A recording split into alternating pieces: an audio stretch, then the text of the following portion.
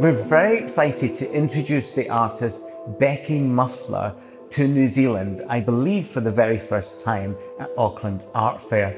We're showing Betty, a senior Aboriginal artist and cultural healer, with a painting, a large scale work called Ngangkari Ngura, and that means healing country. This is a two meter wide painting, it's monochromatic, it's on a black primed canvas, and what you see is a mix of song lines and country and spiritual healing which literally radiates from this painting. It's a hugely emotional work. People get visibly moved when they see Betty's work.